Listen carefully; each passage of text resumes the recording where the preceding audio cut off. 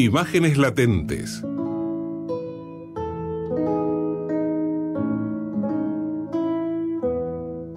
El arquitecto Roberto Lambaugen nos acerca a los pequeños patrimonios que descubre. Una mirada atenta que nos invita a correr por un instante el velo que los cubre.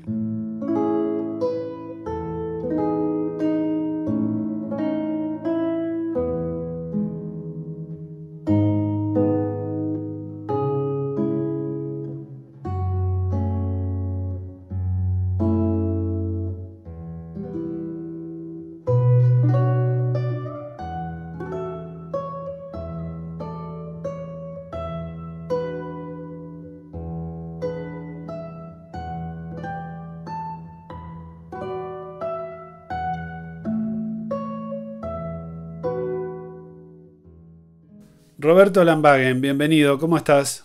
Hola, ¿qué tal? Estamos acá eh, aprovechando estas oportunidades tecnológicas, pero les sacamos partido. Yo creo que vamos a pasar por todos los sistemas antes de, antes de definirnos por uno, porque siempre probamos y algunas tienen, algunos tienen unas ventajas, otros tienen otras.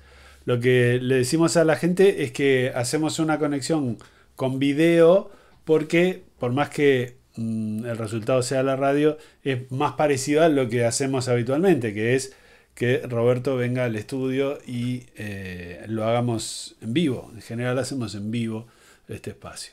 Pero bueno, eh, ya vendrá este, la presencialidad.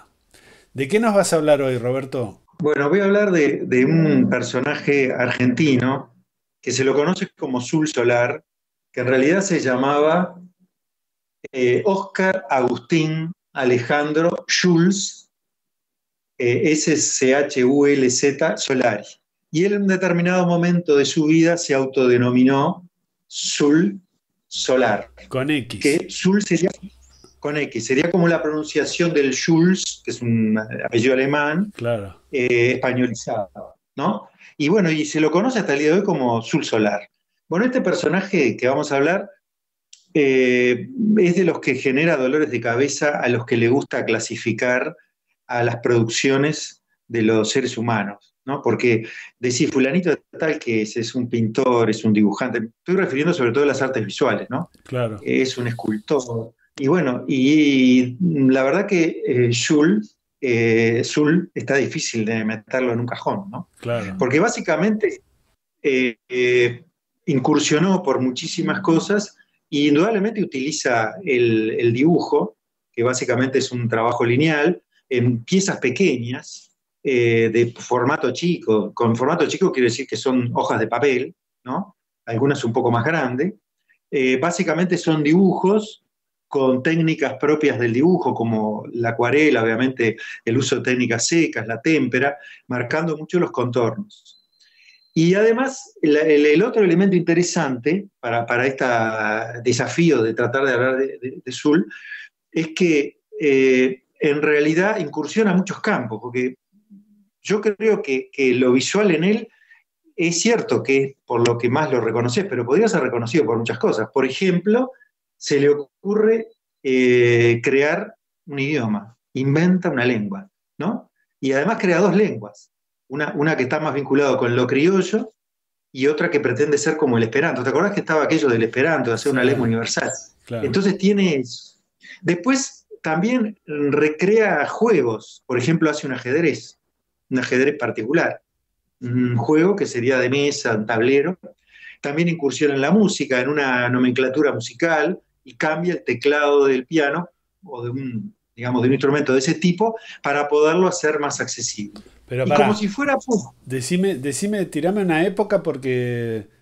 o, yo me perdí o no me dijiste algún año. No, no hablé. Estoy tratando de hablar de dónde lo clasifico. Con esto termino. Y como si fuera poco, además incursiona eh, eh, en lo esotérico, digamos, en las artes adivinatorias, eh, tiene un proceso de iniciación. O sea, es un personaje muy complejo. Bueno, este argentino nació a fines del siglo XIX, en 1887 y muere eh, en el Tigre, en una casita que se hizo en el Tigre en el año 63. O sea, vivió 76 años, ¿verdad? Y básicamente su producción importante la tenemos que cifrar en los años 20 del siglo pasado. O sea que... Cuando ahí bien, es reconocido, es a ser conocido. Bien, bien vanguardias, bien vanguardias del siglo XX, la época de la vanguardia. Totalmente vanguardia. En general se lo coloca dentro de la vanguardia, eh, digamos, de las artes visuales o plásticas, como se llamaba en aquel momento en la Argentina, y además él viene como, una especie de, embajador, porque él tiene un viaje iniciático en estas artes esotéricas, en esto de, la adivinación, de, la magia, del lichín, de, las lecturas, digamos, del, tarot, de la alquimia eh, y un largo etcétera. Pero, eh, digamos, en un momento en los años veintitantos, después de pasar ese periplo, digamos, era un tipo grande, ¿no?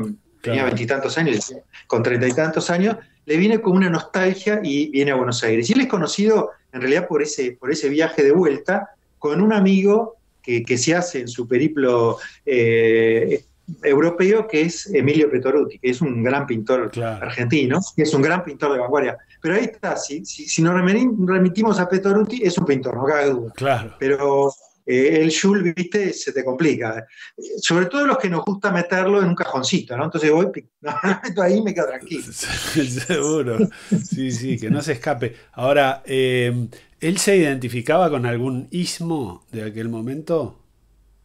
Sí, él se identifica eh, básicamente con el expresionismo, con una faceta del expresionismo alemán que algunos llaman la, parte, digamos, de la abstracción lírica, que es el movimiento que empieza en Múnich hacia 1912, ¿no? Un poquito 10-12, eh, y que el personaje más conocido de ese grupo es Kandinsky, ¿no? aparentemente cuando, cuando en, ese, en ese periplo, en ese viaje, que, es un viaje como de estudio, él en realidad siempre fue autodidacta, pero bueno, aprendió yendo a los museos, vinculándose con, artistas, yendo a, a charlas, conferencias, era un lector empedernido también, ¿no? Tenía una biblioteca que, Borges admiraba por, por, lo variado y por, digamos, por, la cantidad de temas y lo interesantes, por lo menos para la mirada de Borges. Y bueno, y ahí se conecta con, una publicación que se llamó El Jinete Azul, que era un almanaque, en realidad era una, suerte de publicación periódica que estaba inspirada eh, en un dibujo de Kandinsky, que justamente se llamaba El Jinete Azul, de Blau Reich, ¿no? Entonces, para él fue como una, como una epifanía eh, en la medida en que descubre un, arte visual que no estaba atado a la representación de las cosas tal cual las ven los ojos. ¿no?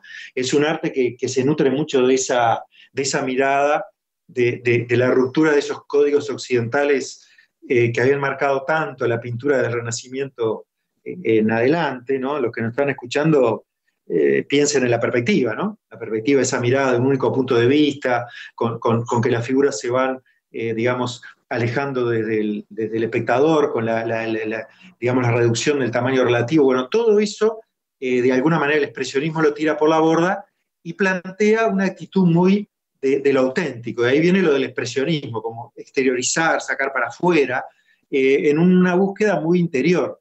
Kandinsky estaba, que es el inspirador de todo esto, muy, eh, digamos, nutrido de, algo que, digamos, que, era muy también de esa época, que es la teosofía, una búsqueda entre la religión y la ciencia, entre las creencias universales, como una mirada universalista y básicamente antimaterialista, es decir, se, nutre mucho del pensamiento de Nietzsche, toda esta gente escribe en aforismos cuasi poéticos, ¿no? como tomando e, e, esa, lógica. Y bueno, se ve que eso eh, lo marcó profundamente a Jules y muchos lo han colocado en algo que tiene, de, que es cierto que lo tiene, pero creo que igual es distinto del dibujo de Paul Klee, ¿no? Esos, esos trazos muy particulares, esa combinatoria del color, eh, el uso de, las transparencias, realmente es una pintura, una factura muy delicada, muy cuidada, ¿no? Y bueno, eso le, ganó, por supuesto, un reconocimiento, pero muy a posteriori en su vida, ¿no? Él en general fue como un tipo raro, una cosa que a mí me llamó la atención, que, me, mm, me, puse a pensar cuando estaba, digamos, preparando esta columna, era de qué vivía Jules, ¿no? Porque parece que no, vendía obras de arte, eh, vendió muy pocos dibujos. Además, como vos sabrás, el, dibujo es difícil de vender, ¿no? Siempre eh, aquello de que la pinacoteca, el, cuadro, El, el, Y bueno, y es cierto, vendió poco. Él tenía una, una casa en el barrio Palermo, La Prida, que hoy está reformada, la casa es una reforma bien interesante, que en su momento eran cuatro casas y él parece que vivía en uno y alquilaba las otras. Tenía como una especie de vivía de rentas, ¿no? Pero un tipo muy bohemio, porque en esa casa en Buenos Aires, además de recibir a Borges, a Marechal, hacer todas las movidas esotéricas, hacía sus artes adivinatorias, eh, sus tertulias, también eh, hacía sus incursiones pictóricas, ¿no? Claro. Y, bueno, y de alguna manera eso lo, marca también con esta vanguardia, es esa bohemia, ese personaje incontaminado, antiburgués, ¿verdad? Que no se contamina con el dinero, en fin, bien interesante. ¿no? Bien, eh, vamos a cerrar entonces esta, esta presentación de Jules, que obviamente daría para hablar muchísimo, con un texto, eh, digamos, eh, que él, hace sobre sí mismo, porque varias veces trató como de explicarse, ¿no? Entonces lo voy a leer.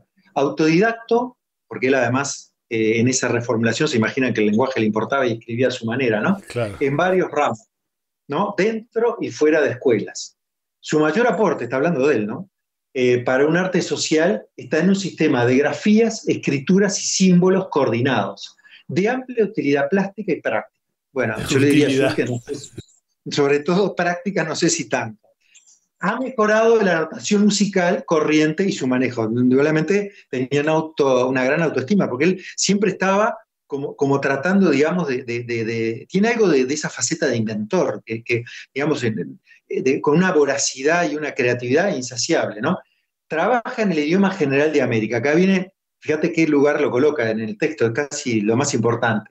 En el neocriollo, que trata de, ensamblar, como tiene como una misión, él se siente en ese viaje iniciático que tiene que unir en Latinoamérica a través del lenguaje. Entonces busca unir las dos grandes tradiciones coloniales de América Latina, sobre todo el portugués y el español, y eso lo llama el neocriollo. Después tiene otras vertientes, ¿no?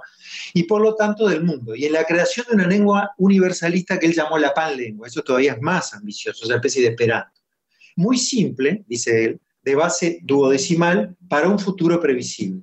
También en varios juegos, y acá donde viene la, otra cuestión que, está en esa mirada del juego, ¿no? Combinatorio de letras y palabras. Ha escrito sobre temas y problemas diversos, cosas que pretenden ser útiles. Acá, eh, digamos, se ubica en esa posibilidad de utilidad. Quiere ser el mismo y que este mundo sea el mejor. Y ahí viene esa gran mirada utópica, ¿no?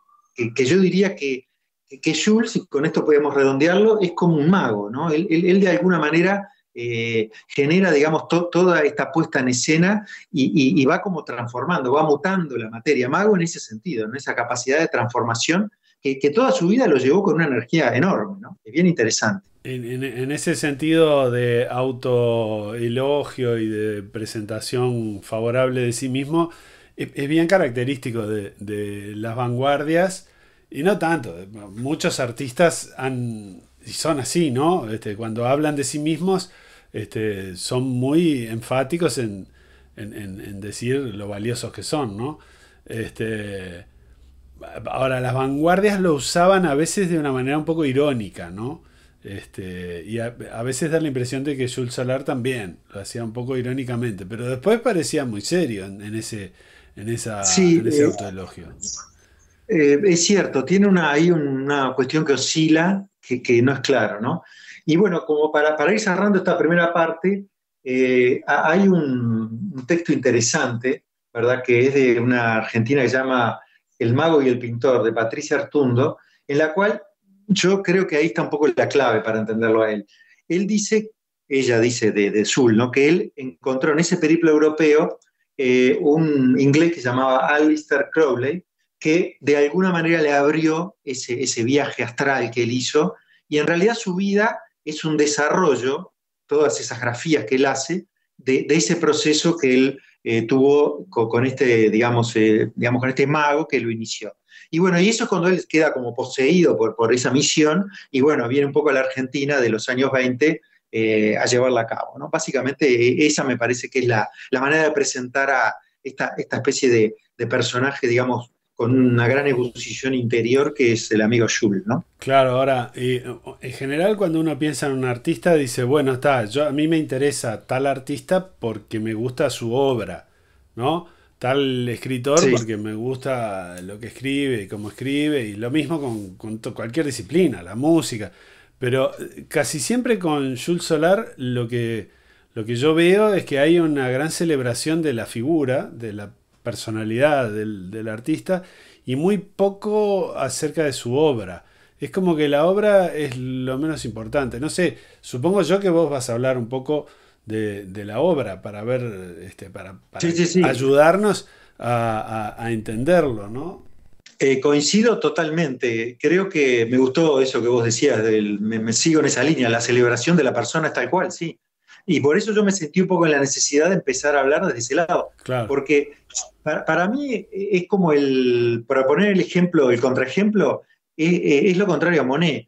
A, vos te podrá parecer lo que te parezca el impresionismo, pero Monet básicamente, digamos, te atrae su visualidad. Bueno, lo de Jules es como que necesitas eh, un manual, algo que te decodifique toda esa postura. Entonces terminás un poco en la vida. Es este, la, explicación ad hominem, explicar la obra por la persona, ¿no? Pero eh, yo creo que Jules es el paradigma ideal de esa, de esa lógica interpretativa, porque si no, ¿cómo le entras? ¿No? Y, en ese sentido es muy, muy temprano, porque eso es más característico de las figuras posteriores, incluso posteriores a la Segunda Guerra Mundial, de las neovanguardias, de, del arte conceptual, digamos, este, cuando, donde la obra es lo menos importante. Lo, que más importa es el fenómeno que produce el hecho que decimos arte, ¿no? Y ese, eso es, eh, la, figura del autor es, fundamental y es esencial. Así que bueno, hacemos una pausa y, y, a la vuelta nos contás un poquitito qué leemos, qué vemos, qué escuchamos y en qué idioma de Jules Solar. Estamos con Roberto Lambagen desde las 9 y hasta las 11. Tormenta de cerebros.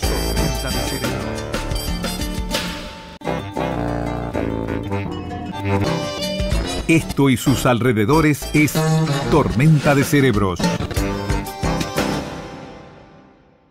Seguimos con Roberto Lambagen hablando en este caso de Jules Solar eh, un individuo que se resistía y se sigue resistiendo a los cajoncitos. O sea, no sabemos en qué categoría ubicarlo. Pero ya sabemos algo de él, sabemos algo de sus viajes iniciáticos, de que incursionó en todos los géneros artísticos.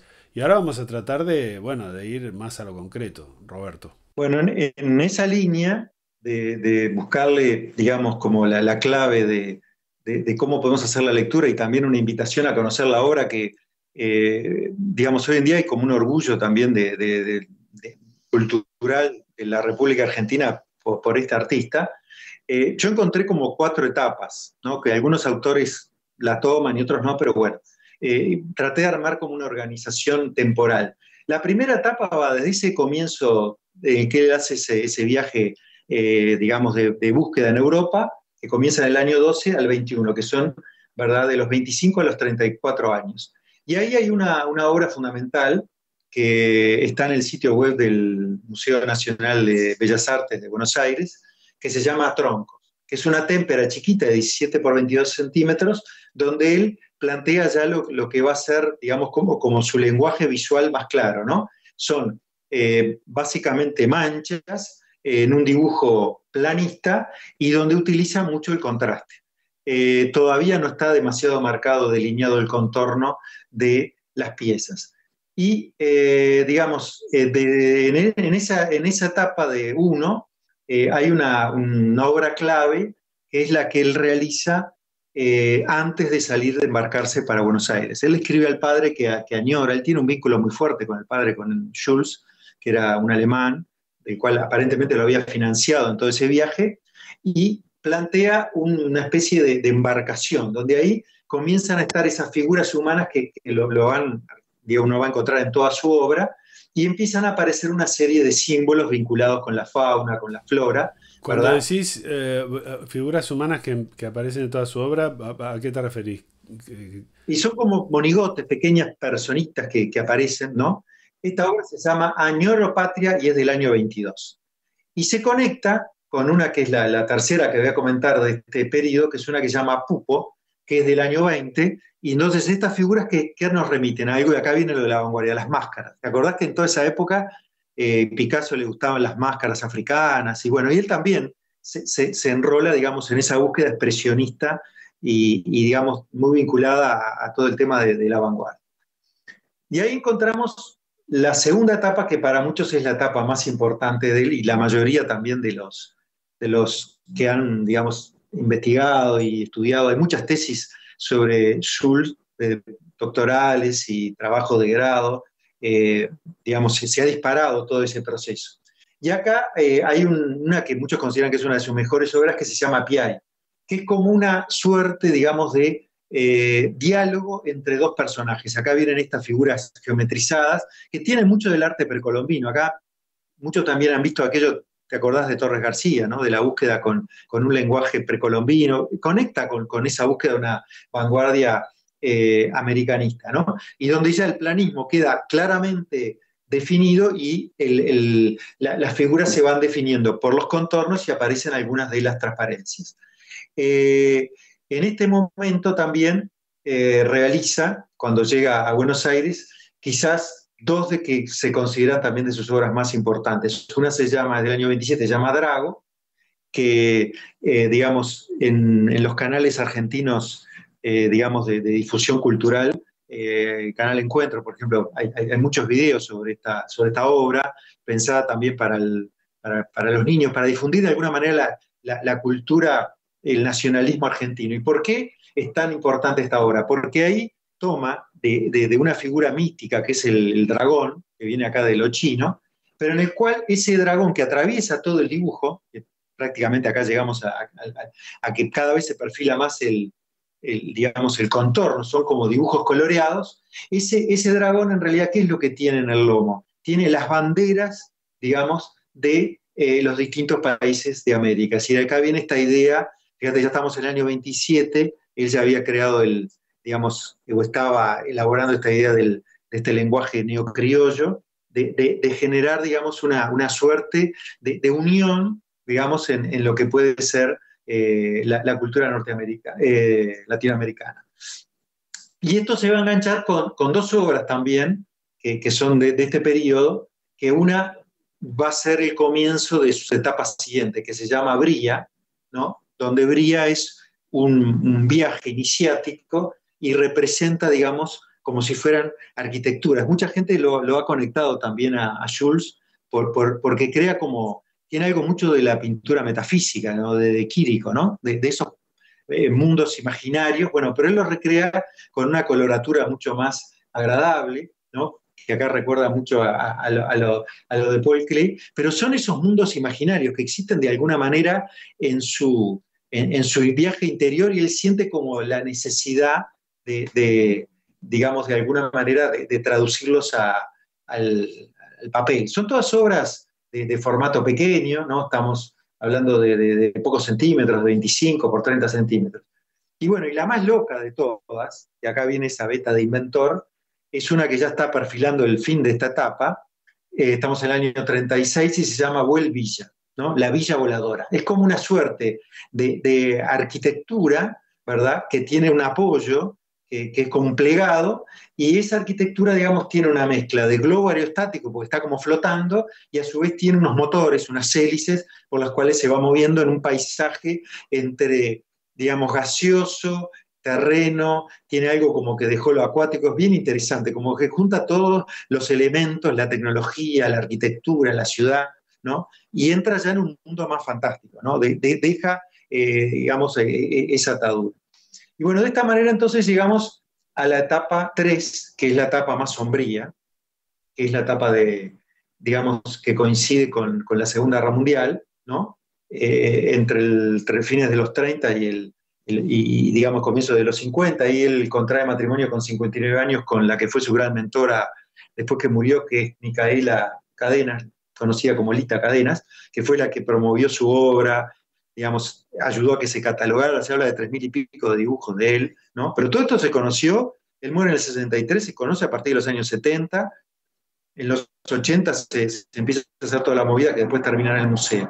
Y bueno, en esta etapa hay una de las obras que para mí personalmente es la que más me gusta, que está en el Malva, los invito a que entren al sitio web del Malva, que está muy bien comentada además, que se llama Ciudad y Aví y plantea una mirada negra, una mirada sombría. Estamos en el año 46, terminó la, Segunda Guerra Mundial, Y, toda aquella, digamos, esa etapa más eh, optimista de, esa mm, Latinoamérica unida entra como en una, en una suerte, digamos, de, de mundo que tiene algo casi de abismo que, que, que, está, digamos, como interpenetrado, ¿no? donde las figuras humanas ya son pequeñitas y suben y bajan eh, escaleras eh, que, se interconectan. Tiene algo del dibujo de Escher también, ¿no? Eh, bien interesante.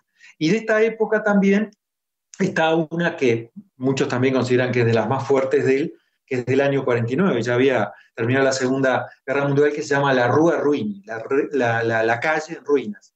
Entonces presenta muros, arquitecturas que están como, digamos, destrozadas, eh, por, quedan, digamos, como, como, como producto, digamos, de, uno se imagina de acciones bélicas, o que se cayeron bombas, eh, fueron agredidas, y donde están es bien interesante, hace como una secuencia entre lo que podría ser el mundo ideológico y el mundo religioso, porque hay símbolos como la esvástica, la hoz y el martillo, una cruz, una cruz de Lorena, la, estrella de David, etc.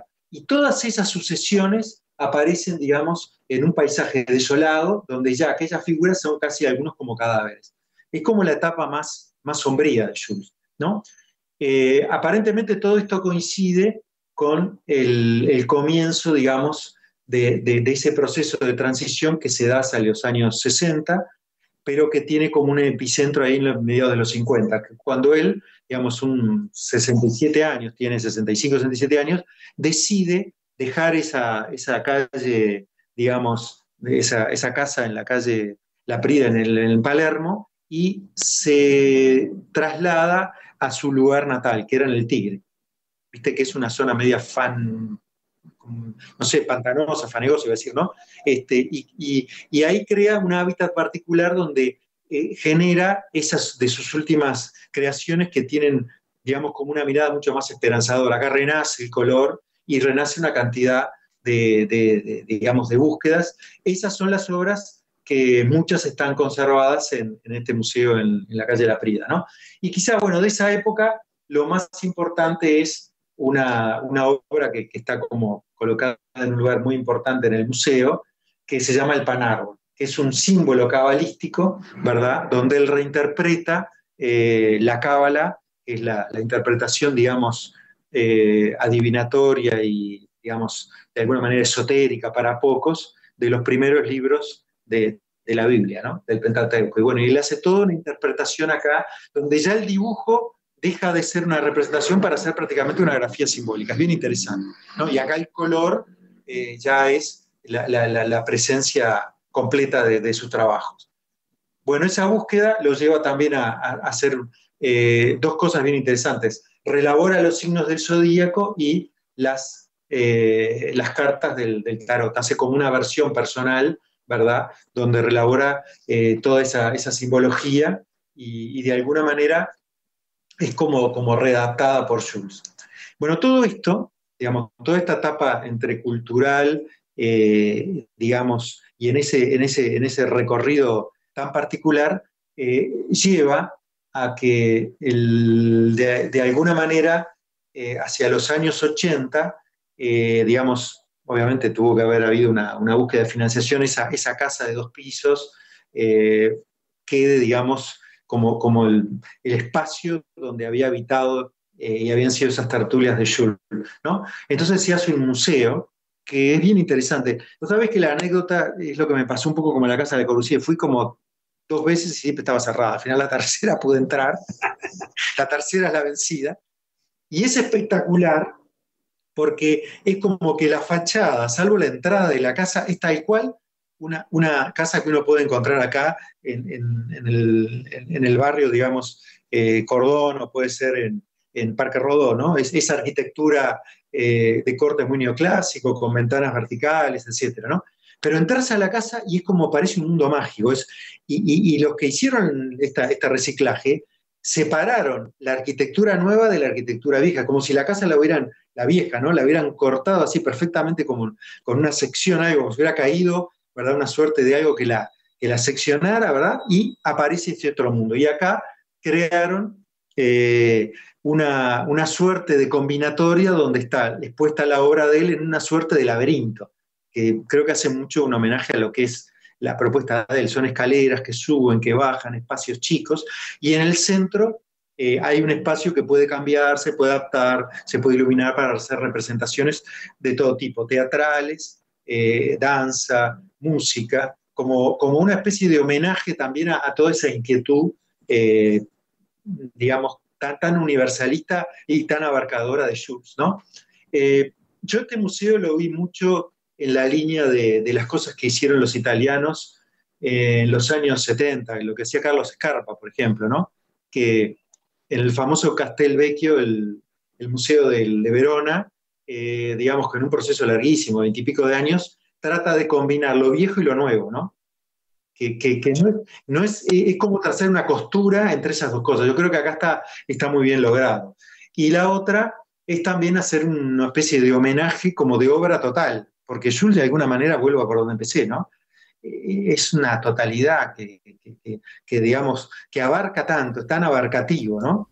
Ahora, eh, yo, eh, quisiera hacerte una pregunta, porque vos hiciste muchas, digamos, descripciones de obras visuales, pero no dejan de ser descripciones verbales, ¿no? De, de obras de arte visual. Éxfrasis, hoy, dos veces en el programa de hoy, uso la misma palabra, éxfrasis, es la descripción verbal de obras de arte visual. Bueno, macanudo. Eh, pero no sabemos si era un buen dibujante, si las obras son, digamos, llaman la atención por su calidad de, ejecución. Si, es decir, ¿cuál es tu juicio acerca de la cosa concreta si no supieras que son obras de eh, Jules Solar? Me gustó lo de la descripción con palabras de cosas visuales. Es cierto, es una, es una digamos, eh, rara. Es un género literario, es bien interesante. Pero yo creo que es el desafío de, esta columna, de tratar de, hablar con palabras de imágenes. Bueno, concretamente, para no evadir la pregunta, eh, es un personaje, yo diría, como naif, ¿no? Es un personaje naif. Porque yo creo que eso que llamamos el buen dibujo se nutre de, una, digamos, de, un rigor que está muy cercano, eh, para mí, a dos vertientes. a una que es muy nata, que yo suscribo, ¿no? Hay, una cantidad de, ejemplos de personas que no han pasado por ninguna educación formal y sin embargo tienen esa aptitud que, que pueden trasladar en una grafía, en un trabajo visual, algo tal cual lo ven los ojos, ¿no? que realmente ha sido admirado de la antigüedad, en todas las culturas, como casi una cuestión mágica. Esa es una vertiente. Y la otra es la academia. O sea, la academia, entendido por la academia, los estudios formales que, han existido en la cultura occidental desde antigua data, podemos empezar de, existieron de antes, pero vamos a poner del Renacimiento para adelante, donde vos tenías que pasar por un taller, hacer ciertos aprendizajes, conocer las técnicas, las técnicas secas, las técnicas húmedas, que, se mezclaban los colores de determinada manera. Bueno, Jules no tiene nada de eso. Ninguna de las dos, digamos, ninguna de las dos vertientes. Ninguna de las dos, exactamente, ninguna de las dos. Yo creo que esa es la explicación por qué hay que hacer todos estos rodeos para hablar de él. ¿Me explico? Claro, parece que, no son rodeos, en realidad eh, hay que sortear una cosa que sería un prejuicio para hablar de él. Porque, ¿por qué vamos a juzgarlo eh, como si, digamos, tuviera que tener cierta configuración cerebral que le permite hacer esa reproducción fotográfica de las cosas dibujando? ¿O por qué tendría que seguir unas reglas académicas tradicionales? En realidad, eso son, son cosas que nos obligan a mirar la realidad a través de ellas y quizá convendría evitarlas, no es dar un rodeo, es ir más derecho, quizá, no sé. No, coincido, sí, probablemente sea parte de, nuestro andamiaje, voy a decir mi andamiaje, por el cual eh, vos tenés ese filtro, o sea, nosotros vemos lo que estamos preparados para ver, entonces inevitablemente eh, eh, pasa ese proceso, ¿no? Y además, creo que también hay un tema, acá voy a hablar de, siempre hablamos de, lo cada uno, pero bueno, más todavía de cada uno, ¿qué es lo que a vos te seduce de, alguien? ¿no? Yo me estoy refiriendo a alguien como un artista plástico. Yo de todo le, si me tuviera que quedar, me quedaba con dos cosas. O sea, hay dos cosas de él que me, fascinaron, que es el Ciudad y Abismos, este cuadro sombrío, negro, que, en realidad llama la atención, porque él lo, meten siempre en la bagueta de los, digamos, de, los coloristas. Y después el Tronco del año 19, que yo creo que es un precioso homenaje a, a Paul Klee, que para mí es el, dentro de los expresionismos líricos, que lo meten también a Kandinsky ahí, yo me quedo siempre con Klee, con esa combinatoria sutil de las transparencias, de los colores, y con un toque agresivo también que tenía eh, parte del expresionismo alemán. Es un, sutil equilibrio entre esas dos cosas y tiene algo de misterioso. Bueno, yo creo que ahí sí aparece la beta para mí más fuerte plásticamente de él, pero bueno, claro. Eh, te vuelvo a repetir por los filtros que uno tiene, ¿no? Y, vos mm, anunciaste o me dijiste, no me acuerdo si fue al aire o, en otro momento, que, ibas a hablar de la Casa del Tigre de, de Jules Solar, que, está asociada a esa etapa, digamos, como de renacimiento personal de él al final de su vida. Eh, claro, porque en esa Casa del Tigre, sí te lo, te lo dije ahí cuando estábamos en el intermedio, eh, yo descubrí dos cosas. Primero, no, no, no, no fui a la casa esa me encantaría ir, lo digo ahora porque uno cuando empieza a buscar esto dice, bueno, a ver cómo aparece el, personaje en la, vida, ¿no?